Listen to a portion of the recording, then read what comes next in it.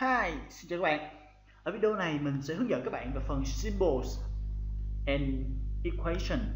Symbols nó là ký tự đặc biệt.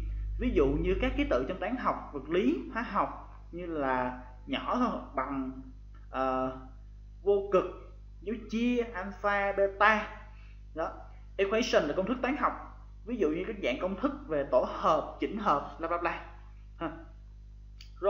thì bây giờ mình sẽ hướng dẫn các bạn để chèn những ký tự đó vào trang văn bản của các bạn.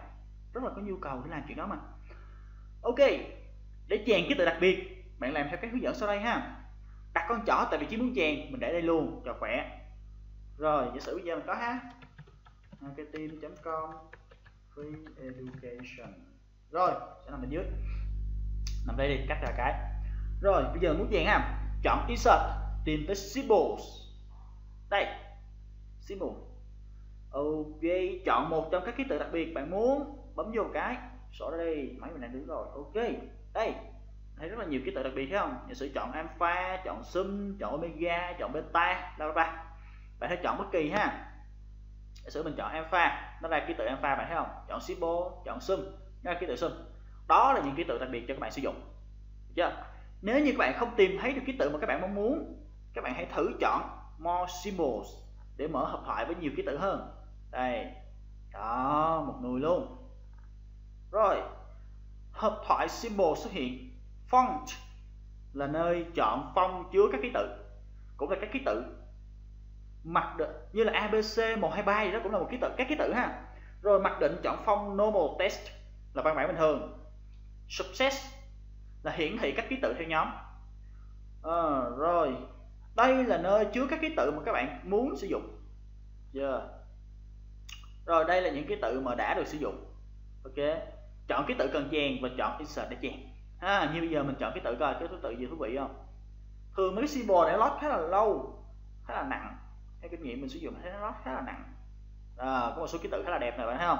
Ký tự này là của ờ, tiếng gì đấy nhưng tiếng hình như khu vực ả rập hay sao á. Rồi bạn coi. Đó, rất là nhiều ký tự luôn. Đưa vào nhìn hoành tráng.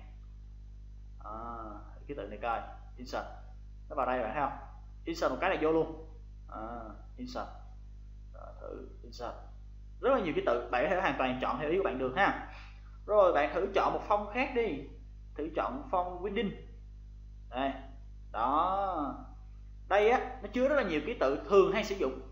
Thường hay sử dụng. Như ký tự Windows nè hoặc là ký tự kiểu này nè. Đó. Bạn cứ chọn phong mỗi phong có mỗi kiểu ký tự khác nhau. Bạn cứ chọn và sử dụng thôi. Được không? Rồi. Ok đơn giản. Rồi đó là symbol đơn giản vậy thôi ha.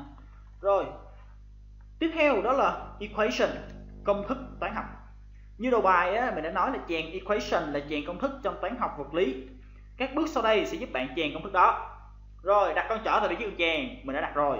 Chọn insert tìm tới equation ngay trên symbol nè. Chưa? Rồi mở ra rất là nhiều. Bạn hãy chọn một số mẫu có sẵn. Một số mẫu có sẵn ha. Bạn hãy chọn tùy giả sử bây giờ mình chọn kiểu này. Đó ra một dạng công thức cho bạn.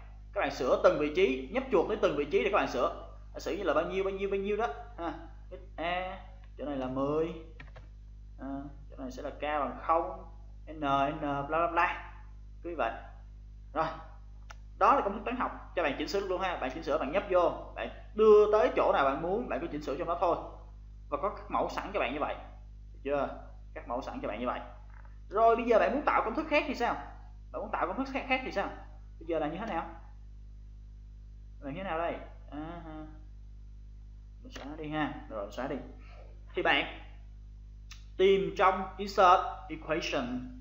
Rồi bạn tìm tới ha. Xem bạn hãy chọn một cái kiểu như là insert new equation. Đó.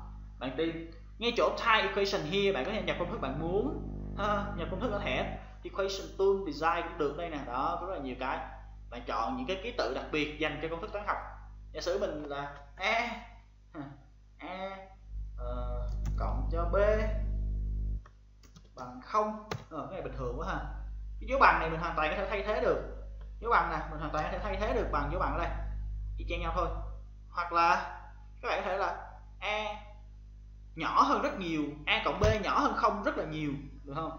Rồi, hoặc là a cộng b nhỏ hơn bằng không. Ký tự này trên bàn phím bạn không hề có, bạn phải sử dụng vào trong đây. Nếu bạn sử dụng symbol thì cũng cực. Thì bây giờ mới có cái equation này. Những phiên bản cũ bạn muốn tạo công thức toán học, bạn cũng phải sử dụng symbol. Cực lắm. Nhưng bây giờ đã đỡ hơn rồi. Ok. Rồi hoặc là ở structure này mình xóa đi. Ở cái nhóm structure ở đây mình insert equation. Rồi ở nhóm này bạn có thể hoàn toàn chèn một số ký tự đặc biệt hoặc là công thức toán học riêng của bạn như matrix. À, đã chưa? Chọn sẵn. Đó thành tráng. Nên bạn sẽ soạn thảo văn bản cực kỳ nhanh chóng cực kỳ dễ dàng luôn. Ok. À. rồi bạn có thể dùng phím mũi tên hoặc là con chuột để mà chọn cái vị trí bạn muốn. Ok ha. Rồi trong đây có rất là nhiều thứ bạn có thể lưu bạn có thể lưu nó lại mai mốt bạn tái sử dụng. À, bạn tạo xong bạn lưu nó lại tái sử dụng nè. À, ờ, cái này coi. Professional near à, thấy không? Bạn thể chỉnh lại kiểu bạn muốn thấy không? Change to display đó. Bạn hoàn toàn điều chỉnh được theo ý của bạn. Nha. Qua bài này bạn có thể chèn kỹ thuật đặc biệt nè công thức toán học nè. Nếu công việc của bạn không cần chèn công thức thì cũng có thể xem cho biết để khi tới khi sẽ cần dùng tới phần chèn đối tượng đã kết thúc. Phần tiếp theo sẽ là phần tạo mục lục cho văn bản. Cảm ơn các bạn đã theo dõi bài viết. Hãy để lại bình luận hoặc góp ý của mình để phát triển bài viết tốt hơn. Đừng quên luyện tập, thử thách không ngại khó. Cảm ơn các bạn. Nó sẽ mở ra một cửa sổ như thế này. Rồi, sau đó các bạn chọn option ở đây. Một lưu ý là nếu như bạn nào mà bấm vào file mà các bạn muốn quay lại á, các bạn không muốn chọn option này nữa, các bạn